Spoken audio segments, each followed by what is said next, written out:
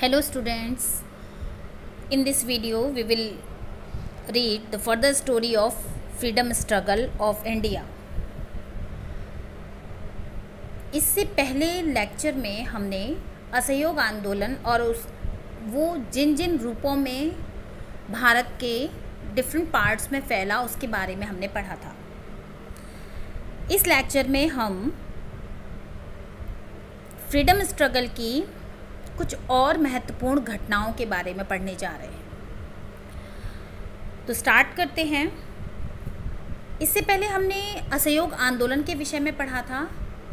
असहयोग आंदोलन महात्मा गांधी के द्वारा 1920 में चलाया गया। 1921 में इसमें इसी नॉन कॉपरेशन मूवमेंट में खिलाफत आंदोलन को मर्ज कर दिया गया। और धीरे धीरे ये आंदोलन एक व्यापक रूप लेता चला गया।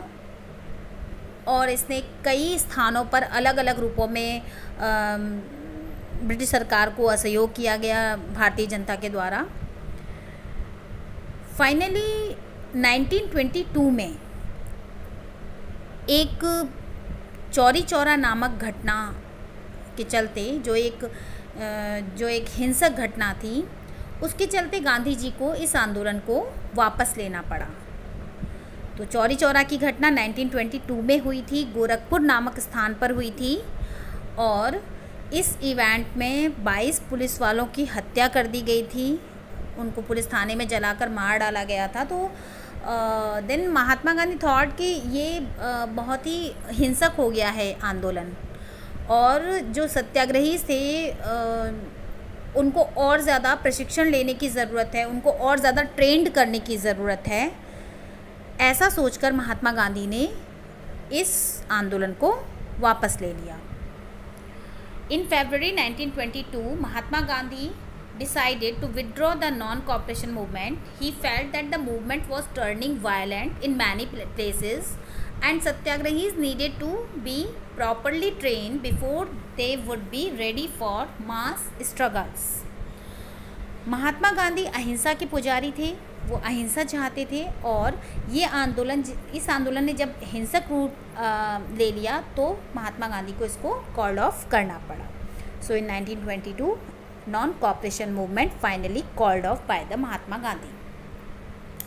With the Congress some leaders were by now tried to mass struggle and wanted to participate in the election to the provincial council that had been set up by the government of india act of 1919 some leaders they thought that uh, if we will take participate if we will take part in the election in the provincial election which was decided by the government of india act 1919 so it was it will be it would be quite easy to oppose the British government ऐसा उनकी सोच थी कि अगर वो provincial election में participate करके और आ, कोई पोस्ट गेन करते हैं तो वो ब्रिटिश सरकार की नीतियों को ज़्यादा ज़्यादा अच्छी तरीके से बेटर तरीके से उसको प्रभावित कर पाएँगे। They felt that it was important to oppose British policies within the councils argue for reforms and also demonstrate that these council were not truly democratic तो इसी बात को ध्यान में रखते हुए जो नेताओं, नेता थे, उनके अपने अपने अलग अलग पक्ष थे अलग अलग मत थे। So C R Das and Motilal Nehru form the Swaraj Party in 1923 1923 में उन्होंने स्वराज पार्टी का निर्माण किया था प्रोविंशियल इलेक्शन में पार्टिसिपेट करने के लिए। Within the Congress to argue for a return to council politics but younger leader like Jawaharlal Nehru and Subhas Chandra Bose pressed for more radical mass agitation of and for full independence ये पूर्ण स्वराज की मांग ऐसे young नेता जो जवाहरलाल नेहरू और सुभाष चंद्र बोस जैसे young नेताओं ने अपनी मांग को, पूर्ण स्वराज की मांग को जारी रखा। और कुछ नेता जो थे वो प्रोविंशियल इलेक्शन में पार्टिसिपेट करके ब्रिटिश सरकार की नीतियों को प्रभावित करना चाहते थे। In such a situation of internal debate and dissensions two factors against shape the Indian politics towards the late nineteen twenties अब नाइनटीन ट्वेंटीज़ के बाद कुछ ऐसी घटनाएँ हुई जिन्होंने भारतीय राजनीति को एक नया मोड़ दिया। वो कौन सा था कि सबसे first the first was the effect of worldwide economic depression so what is worldwide economic depression इनमें सबसे पहला था विश्व व्यापक आर्थिक मंदी। विश्व आर्थ वैश्विक आर्थिक मंदी। सो so, वैश्विक आर्थिक मंदी से आप क्या समझते हैं? जब अंतर्राष्ट्रीय इंटरनेशनल लेवल पर वस जो प्रोडक्ट्स होते हैं सर्विसेज़ होती हैं उनमें निरंतर गिरावट हो रही हो। और जो जीडीपी है, जो सकल घरेलू उत्पादन है, वो कम से कम थ्री मंथ्स के डाउन ग्रोथ में हो। तो ऐसी स्थिति विश्व की आर्थिक मंदी कहलाती है। और ये इकोनॉमिक डिप्रेशन क्या था? महामंदी के कारण होते हैं, या तो बहुत ज़्यादा उत्पादन हो गया हो, और जब उत्पादन ज़्यादा हो जाता है तो उस, उन वस्तुओं की, जिन वस्तुओं का उत्पादन ज़्यादा हो गया है, उनकी कीमतें गिर जाती हैं। और दूसरा कारण होता है कि जब शेयर के मूल्य में, जो शेयर मार्केट है, उसके मूल्य में गिरावट आ गई हो। तीसरा कारण ये होता है कि जब बैंक बंद हो गए हों, बैंक दिवालिया हो गए हों, और फोर्थ होता है कि जब बेरोज़गारी बढ़ गई हो। तो उस समय जो आर्थिक मंदी के कारण थे, वो क्या थे बच्चों? कि पहला जो कारण था, वो ये था कि एग्रीकल्चर जो फ़ील्ड था, उसमें एक्सेस रूप में उत्पादन हो गया था। एक्सेस रूप में उत्पादन होने के कारण जो उसकी खपत थी, वो कम हो गई और उसकी कीमतें गिरने लगी। जब एग्रीकल्चर प्रोडक्ट्स की गिरती कीमत जब उसके प्राइस जो है वो फॉल हुए तो स्थिति और ज़्यादा ख़राब हो गई। कीमतें गिरी तो किसानों की जो, को जो फ़ायदा होता था, वो नहीं मिलने लगा। तो उनकी उनकी इनकम पर इफ़ेक्ट पड़ा। और आमदनी बढ़ाने के लिए जब किसान उत्पादन बढ़ाने का प्रयास करने लगे, ताकि कम कीमत पर ही सही, लेकिन ज़्यादा माल पैदा करके वे अपना आय, वो अपना इनकम लेवल बनाए रखेंगे तो बाज़ार में कृषि उत्पाद इतने ज़्यादा आ गए कि कीमतें और नीचे चली गईं और ख़रीदारी के अभाव में कृषि उपज पड़ी पड़ी सड़ने लगी। तो एक तो एग्रीकल्चर सबसे ज़्यादा जो इफ़ेक्ट हुआ था वो एग्रीकल्चर फ़ील्ड में ही हुआ था इसका। दूसरा कारण ये भी रहा विश्व, वैश्विक आर्थिक मंदी का कि 1920 के दशक में बहुत सारे देशों ने अमेरिका से कर्ज लिया था और जो वो इन्वेस्ट करते थे बड़े बड़े व्यापार में तो अमेरिका से कर्ज लेकर वो उस निवेश संबंधी ज़रूरतों को अपनी पूरा करते थे। लेकिन जब हालात अच्छे थे, जब अमेरिका इस फॉर्म में था कि वो कर्ज दे सकता था तो तो उससे कर्ज उठाना आसान था। लेकिन जैसे ही अमेरिका के शेयर मार्केट में भारी गिरावट आई तो उस उस कारण अर्थव्यवस्था पूरी तरीके से बिगड़ गई। तो ये आर्थिक मंदी के कारण थे और इनका भारत पर क्या प्रभाव पड़ा? भारत पे ये प्रभाव पड़ा कि इसने भारत इस महा, इस महामंदी ने इस जो इकोनॉमिक डिप्रेशन था, इसने सबसे ज़्यादा भारत के व्यापार पर व्यापार को यहाँ के कोलैप्स किया। तो 1926 से लेकर 20 1926 से लेकर 1930 तक जो एग्रीकल्चर प्राइस थे, उनकी कीमतें गिरने लगी क्योंकि अंतर्राष्ट्रीय लेवल पर, अंतर्राष्ट्रीय मार्केट में उन चीज़ों की कीमतें गिर रही थी। तो इसलिए उनका इफ़ेक्ट यहाँ पड़ा, यहाँ पर भी उनकी कीमतें नीचे आ गई। और इस टाइम पीरियड में जो देश का आयात निर्यात था, एक्सपोर्ट, इम्पोर्ट, वो भी लगभग घटकर आधा रह गया। और सबसे ज़्यादा जो भारत में जो इसका इसको इसकी मार विश्व की आर्थिक मंदी की मार झेलने वाले लोग थे वो थे किसान। और वो किसान जो कि इंटरनेशनल मार्केट के लिए अपनी क्रॉप उगाते थे। जैसे प्लांटेशन क्रॉप है कॉटन क्रॉप है जो इंटरनेशनल मार्केट पे इनकी क्रॉप जाती थी। तो उन पर सबसे ज़्यादा मार पड़ी क्योंकि उन लोगों ने अपने आ, उस इन्वेस्टमेंट के लिए कर्ज लिए हुए थे और जब लोन वो जब उनकी आ, उनकी कीमतों उनकी फ़सलों की आ, सही मूल्य उनको नहीं मिला तो उस कंडीशन में उनकी प्रोडक्ट का जब मूल्य गिरने लगा तो उनको फ़ायदा नहीं हुआ और वो कर्ज चुकाने में असमर्थ हो गए और ज़्यादा कर्ज में डूब गए। मंदी के इन सालों में बहुत एक्सपोर्ट इंपोर्ट भी आधा रह गया स्पेशली जो कीमती जो ज्वेल्स जेम्स वगैरह थे, यहाँ से जो जाते थे तो उनका निर्यात आधा रह गया था। तो इस तरीके से विश्व 1920 के डिकेट में वर्ल्ड वाइड इकोनॉमिक डिप्रेशन ने भारत को एक इकोनॉमिक एक उसकी अर्थव्यवस्था पर बहुत बुरा असर डाला।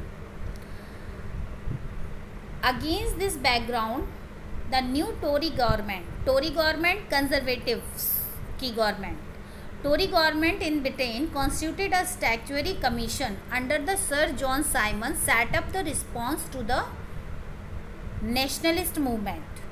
The commission was to look into the functioning and the constitutional system in India and suggest changes.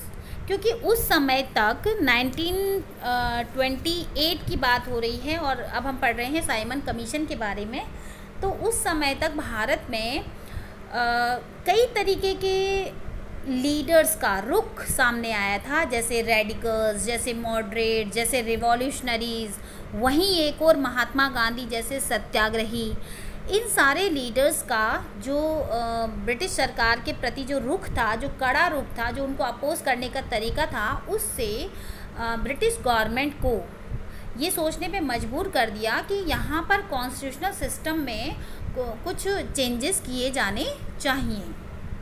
The problem was that the mission did not have a single Indian member they all were British so उन्होंने यहाँ पर constitutional reforms के लिए एक commission नियुक्त किया appoint किया, जिनके, जिस, जिन which was headed by sir John Simon और ये सेवन मेंबर्स थे इसमें, लेकिन सभी मेंबर्स जो थे वो ब्रिटिश थे इंडियन मेंबर इसमें नहीं था कोई भी।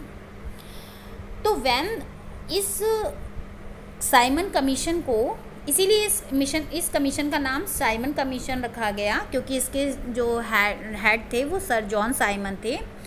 और ये कॉन्स्टिट्यूशनल रिफॉर्म्स के लिए भारत भेजा गया था। इसमें सेवन मेंबर्स थे और ये 1928 को भेजा गया था। भारतीयों ने इसका अपो, भारतीयों ने इसको अपोज़ किया। When Simon Commission arrived in India in 1928, it was greeted with the slogan "Go back, Simon" और क्योंकि इसमें कोई भारतीय मेंबर नहीं था इसलिए भारतीयों ने इसको गो बैक साइमन के नारे लगाकर और काले झंडे दिखाकर इसका स्वागत किया और इसको गोमैन गो बैक साइमन के नारे लगा के इसको आ, इसको, इसका स्वागत किया। All parties including the Congress and the Muslim League participated in the demonstration सभी ने मिलकर इसका विरोध किया। In an effort to win them over the viceroy Lord Irwin announce that in October 1929 a vague offer of dominion status for India in an unspecified future and a round table conference to discuss a future constitution. जब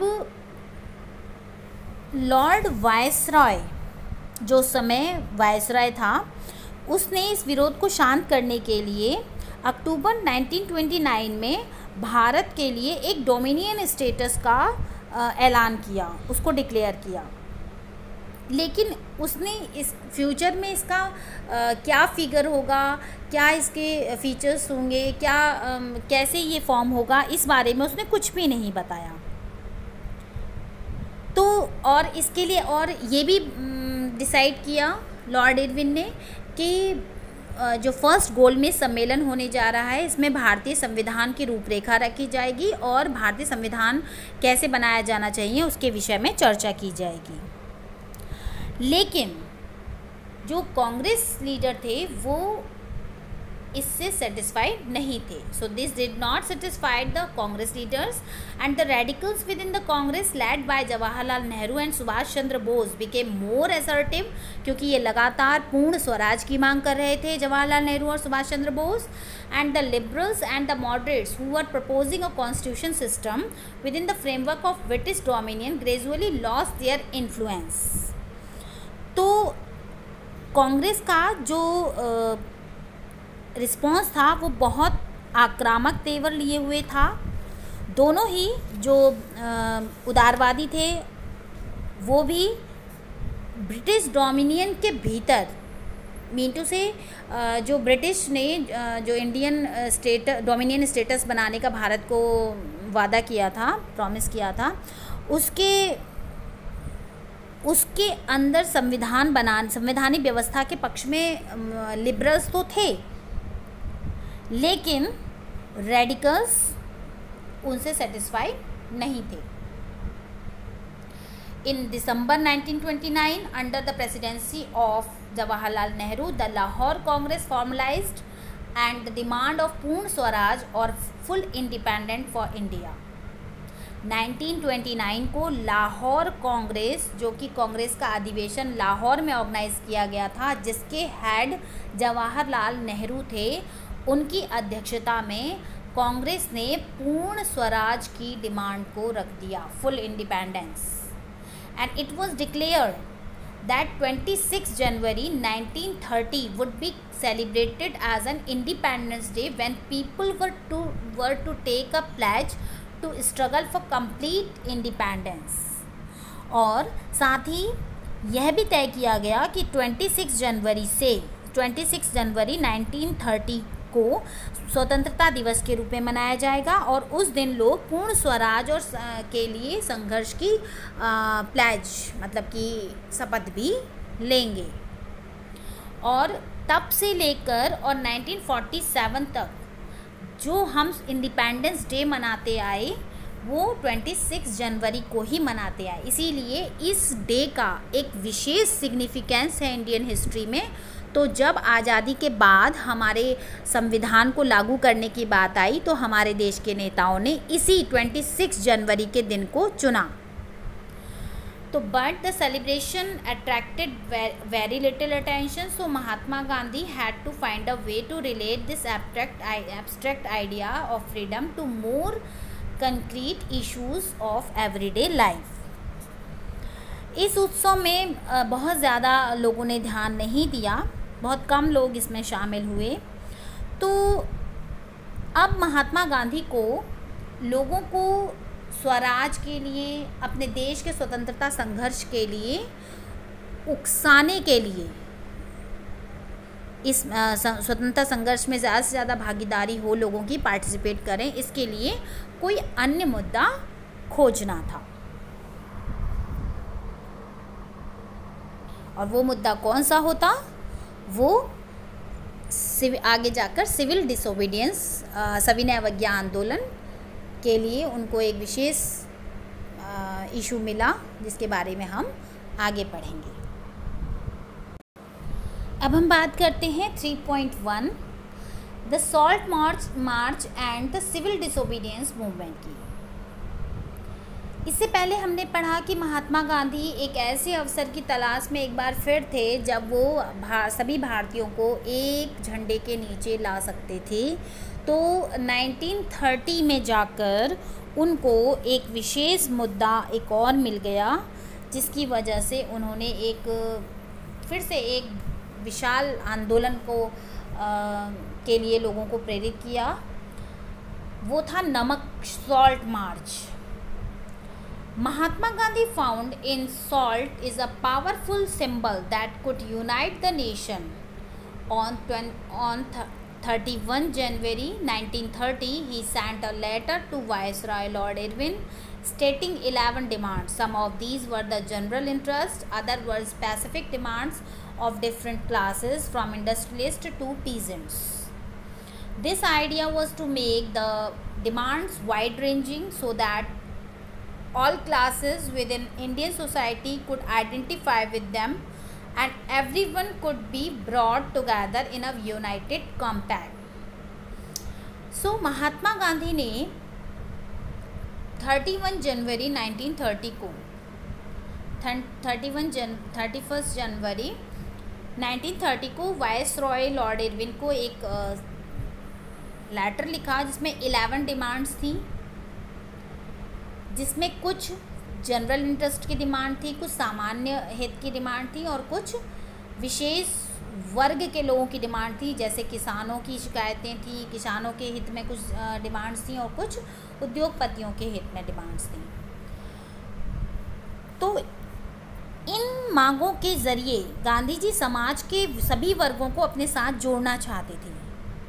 ताकि वो जो आंदोलन आगे start करना चाह रहे थे, उनमें सभी शामिल हो सकें। तो इसमें जो सबसे इंपॉर्टेंट मांग थी the most stirring of all was the demands of abolish the salt tax अंग्रेज़ों ने नमक बनाने पर कर लगा दिया था और नमक की मैन्युफैक्चरिंग को पूरा अपने अंडर कंट्रोल में ले लिया था। तो उस कंडीशन में नमक पर से कर हटाने के लिए ये जो डिमांड थी गांधी जी की, इन सारी डिमांड्स में ये सबसे महत्वपूर्ण डिमांड थी कि नमक पर से कर ख़त्म होना चाहिए। Salt was the something consumed by the rich and poor alike and it was one of the most essential items of the food इसीलिए गांधी जी ने इसको मुद्दा बनाया था, क्योंकि नमक हर घर की बेसिक नीड था। और इसी इशू के चलते वो रिच और पुअर हिंदू और मुस्लिम सभी को जोड़ सकते थे अपने आंदोलन में। इसलिए इसको, इस सॉल्ट इशू को उन्होंने अपने एक पावरफुल वेपन्स के रूप में अपनाया। And the tax on salt on the and the government monopoly over its production Mahatma Gandhi declared reveal the most oppressive face of British rule